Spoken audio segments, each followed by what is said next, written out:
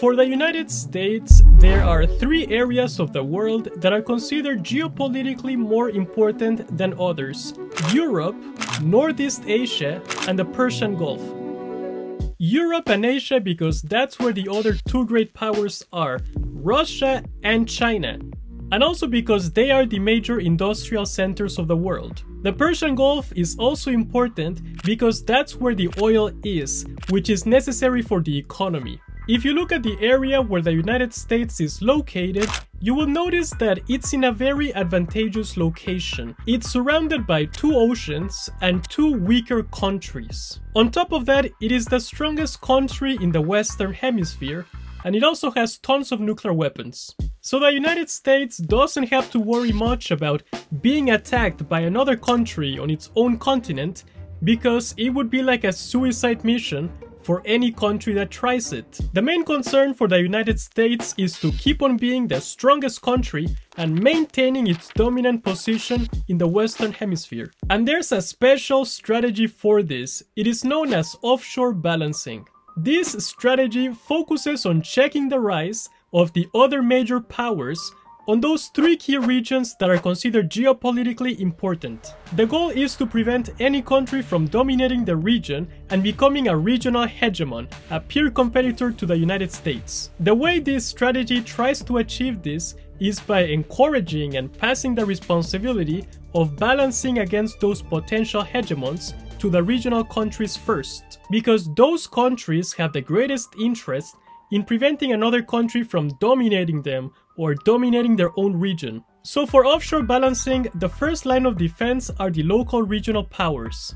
The US will provide assistance to them and will only get involved more if the regional powers are unable to prevent the rise of a regional hegemon and the balance of power breaks down. But what exactly does balancing mean? The way that countries balance against others is by looking for ways to avoid being dominated by a stronger country. They look for ways to make it hard for another country to use its military advantage, to deter it from attacking, and to reduce its possibilities of winning a war. They can do this by strengthening their own military and economic resources. They can also strengthen alliances, they can create new alliances with other countries, and they can also try to weaken the competing country. Anything that tries to equalize the balance of power. So these actions of countries balancing against other countries is influenced by the conditions of the international system. The more one country grows in power, the more it forces other countries to balance against it. This is because of many reasons related to the way the international system is structured. There is no world government above countries. So each country can only certainly rely on itself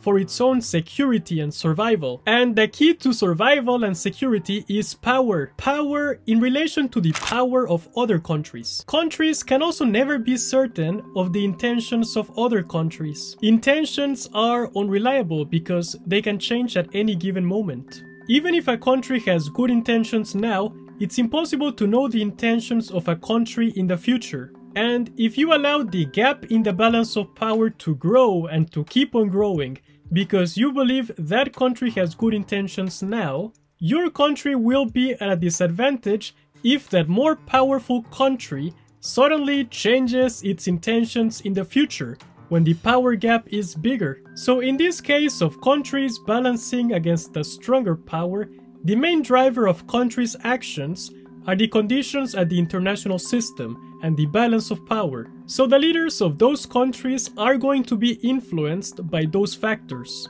In the Persian Gulf, the goal is to prevent the rise of a country that could interfere with the flow of oil from that region and would be able to damage the world economy and the US economic prosperity.